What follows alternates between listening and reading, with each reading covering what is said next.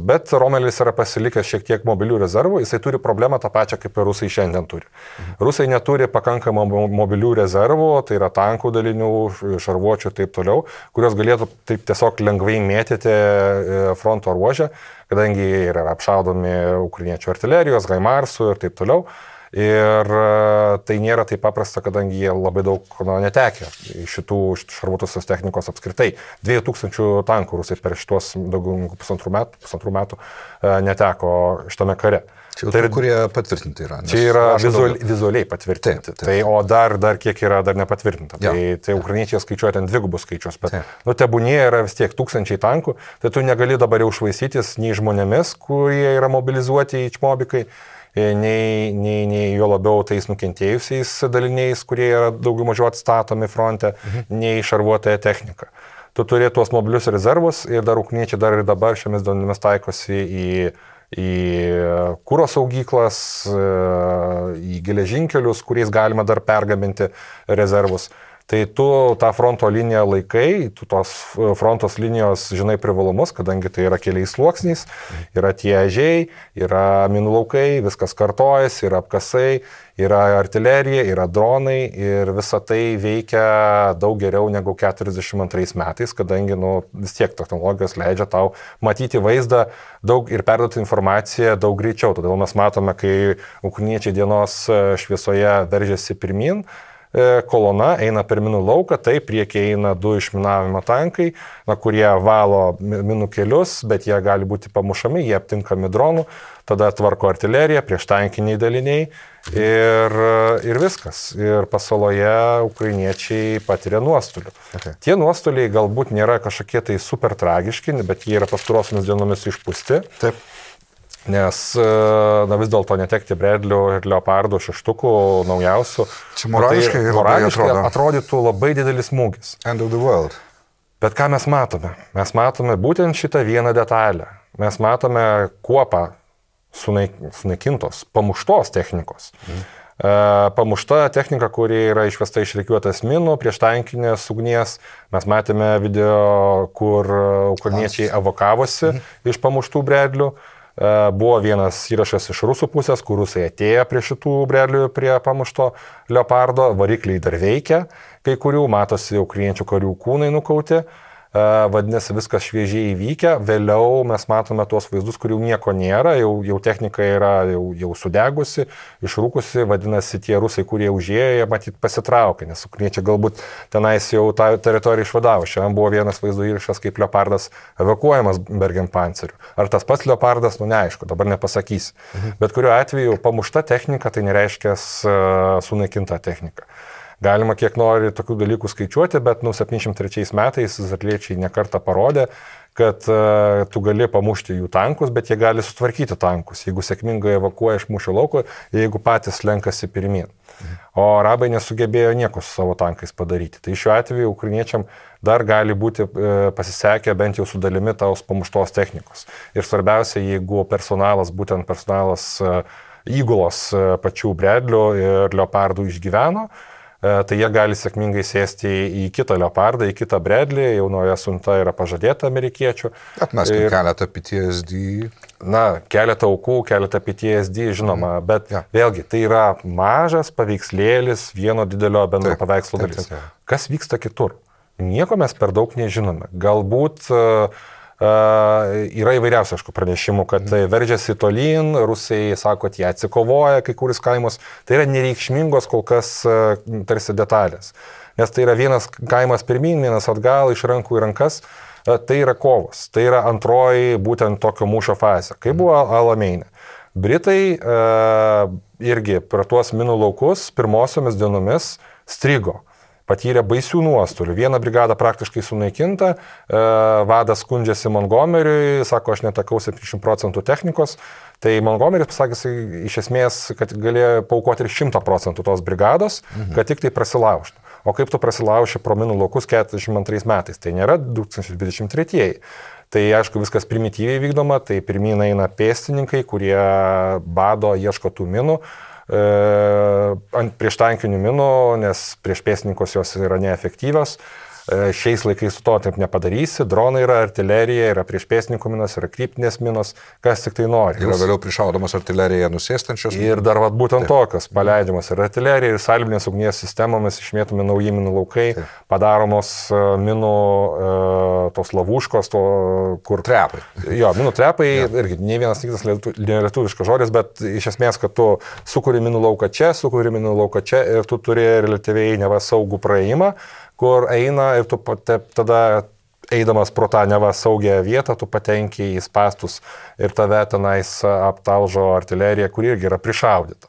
Čia, tai Rusija gynyba. pointą patenki. O labai mėgstu šitą žodį, okay. choke pointas. Mhm. Ir tu patenki iš to choke pointą ir rusai, matyt, šitom situacijom ruošiasi, tikrai turėjo laiko, bet lygiai taip pat mes neturime manyti, kad ukrainiečiai yra tokie buki, kad tiesiog dienos metu visos tos atakos tik tai ir vyktų. Mhm. Ir leopardai, ir bredliai, ir visa kita technika, kuri dar nepasirodė, yra švedų CV90, yra švediški leopardai. Visa tai gali veikti sėkmingai naktyje. O, oh, jo. Ir mes nematome naktinių mūšių. Mes nematome, mes matome nemažai kliksmų iš rusų, iš tų karinių korespondentų, bet mes praktiškai nematome jokios informacijos iš ukrainiečių pusės. Mm. Vienas kitas kaimas išvaduojamas, selfis nusifotkinam prie jo, yeah. e, mūšių vaizdai, važiuojam tolyn. Tai natūralu, kontrpolimo metu to galima tikėtis. Britai Alameinę, per 12 dienų sugebėjo įveikti Romelio gynybą. Iš esmės todėl, kad jie turėjo didelį kiekybinį pranašumą ir dėl to, kad Romelis e, neturėjo pakankamai kūro. Jisai galėjo mėtyti savo tą mobilų rezervą tiek, kiek tik tai galėjo pavažiuoti jo tankai, nebėra degalų, viskas tankai nebevažiuoja, nebegali nieko gintis, prieš jį kiekybiškai pranašesnis priešininkas. Ar Britai patyrė nuostolių? Taip, didelių. Iš tūkstančio tankų trečdalis mažiausiai buvo sunaikinta. Trečdalis. Mhm. Tai dabar mes matome vieną kuopą mechanizuotos kolonos, kuri pateko į pasalą. Kur kitos? Kur ir kitos kalbam, brigados? Ir mes kalbam birželio 12 dieną. Ir mes šitą dieną e, laidą iš karto transliuojame. Aš jos net nemontuosiu, kad kuo greičiau būtų. Aš turiu minį, mes uždėsiu vaizdą, tu prieš okay. mane sėdėm ir aš nedarysiu okay. to. Gerai, tes. Tai va, tai, e, tai mes matome tik tai mažą dalelį ir mes nematome, kas vyksta naktį, mes nematome, kas vyksta kituose sektoriuose. Mes nematome to, kumščio, kuris buvo telkiamas tiek mėnesių iš ukrainiečių pusės, mes nematome ukrainiečių artilerijos. E, mes praėjusiu laidoje, paminį, spekuliavom, na, aš spekuliavau, kad galbūt vis dėlto ukrainiečiai čia mums visiems dumė akis kartu su vakarais, gal iš tikrųjų jie gavo jau nukintuvus, jie juos panaudos.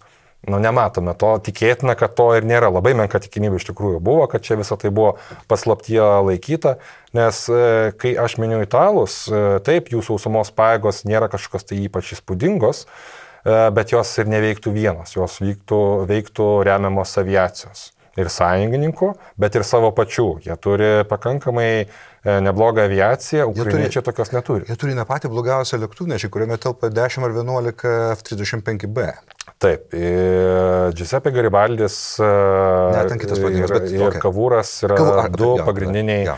italų lėktuvnešiai, kurie, nu, lėktuvnešiai, lengvėjai lėktuvnešiai, pusiau desantiniai laivai. Ja bet irgi jie yra didesni už tą minėtą į San Marko, kuris šiek tiek tokios klasės laivas yra, kur čia vat, Lietuvoje išlaipino desantą. Bet vis dėlto taip, italai turi ir tokius pajėgumus. Tai reiškia, kad jeigu ukrainiečiai turėtų, tai jiem pavyktų kažką panašaus daryti. Nes čia, čia yra va, svagūnas ir, ir tie saldainiai. Nelyginami dalykai, kai mes e, juos gretiname.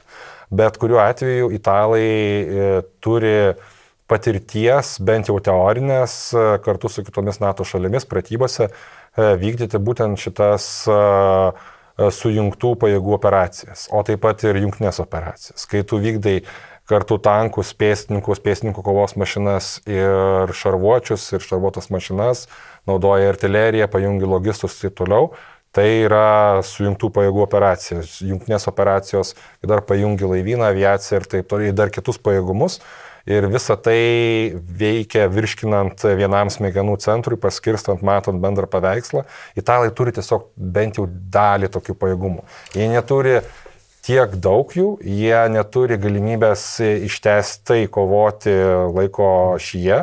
Ir mes matėme 2011 metais, man irgi teko būti tuo metu Italijoje, tuo metu vyko e, operacija Libijoje ir italų naikintuvai kilo iš Traponio oro uosto, iš kurio kilo ir Aner lėktuvai į Kauną.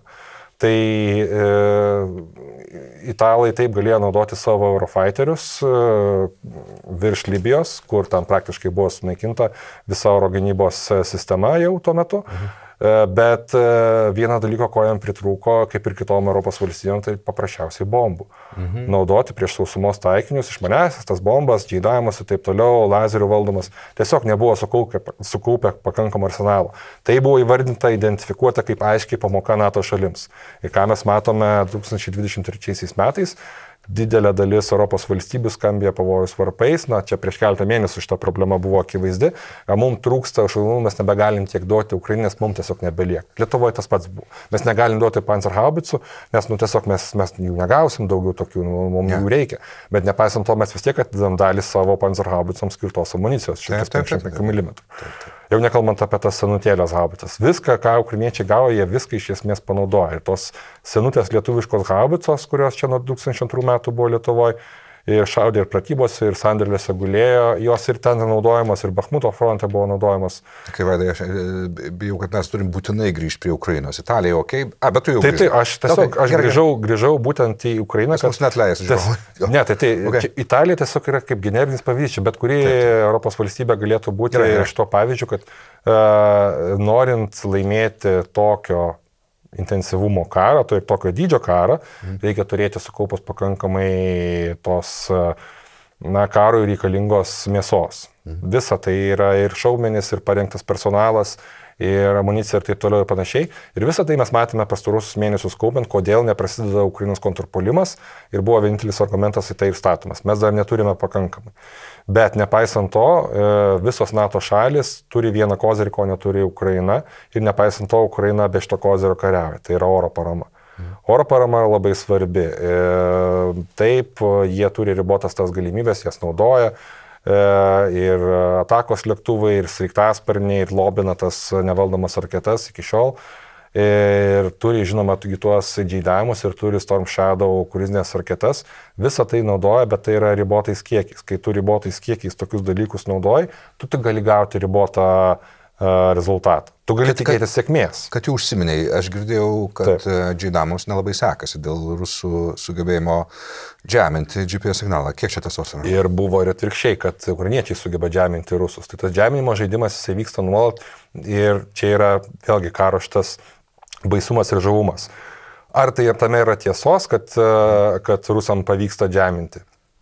Aš negaliu pasakyti, nes aš ten nesu. Aš mačiau šituos e, jo pranešimus, kita vertus, ukriniečiai negali panaudoti džeidamų taip, kaip naudoja NATO aviacija. Mhm. Džeidamas naudojamas, kai tu vidutinėme kruizinėme uh, aukštyje, kruzinių greičių skrendi vidutinėme aukštyje ir paleidi ją, kad maksimaliai išnaudotum jo tos bombos kritimo laiką. O šiuo atveju leidžiam ir Haimas. O šiuo atveju, tai jeigu mes kalbam apie skirtingus dalykus. Okay. Nes yra Haimarsų sistemų naudojamos būtent e, tos kaip ir džeidavimo bombos, e, uždedamos ant raketos. E, Taip, Bet tai yra ir pačios bombos JDM, okay. kurios gali būti naudojamos Ukrainos aviacijos. Yeah. Bet norint tai panaudoti, tai Ukrainos aviacijos konkrečiai šturmo lėktuvai Jie turi skristi. Taip, vieninteliai, kurie, nu, galbūt su 27, galbūt netgi MiG-29. Čia jau yra mhm. priklauso nuo, nuo išradingumo amerikiečių ir sugebėjimo kartu su sąjungininkais ja. suderinti skirtingas sistemas, kad jos veiktų. Bet jie vis tiek turi praskristi vidutiniame aukštyje, jeigu to negali padaryti dėl oro gynybos veikimo, Taip. tu tas skrendi žemesnėme aukštyje. Mhm. Žemesnio aukščio tu tada ribotą atstumą turi, kada gali panaudoti tą, tą bombą. Jis bus taip pat efektyvi, pataikysi taikinį, kurį tu nori. Jis nebus ten nuokrypis kaip rusų aviacija, kai į Belgorodo sritį įsivežė šitie diversantai ir uh, Rusijos aviacija tą pasienio punktą subombardavo, nu, bandė subombarduoti, bet čia ir yra, sakykime, bandė subombarduoti, žemai praskrisdami ir nepataikydami didelę dalį taikinių tai džeidamas e, pataiko į taikinius, tiesiog iš mažesnio atstumo tu tada jau gali pataikyti, gana skrendi žemiau. Ir e, nu, tai yra didesnė rizika pačiam lėktuvui. Mhm. Ir vėlgi, tu neturi daug lėktuvų, tu neturi daug džeidamų, tu turi ribotą resursą ir tu jį gali naudoti tik tai pasirinktiems e, didesnės vertės arba didės, okay. didžiausios vertės taikiniams. Tai grįžkime nuo džeidamų prie tos vietos, kur aš apie juos ten tave pertraukau. Koks ten kontekstas buvo? Primink.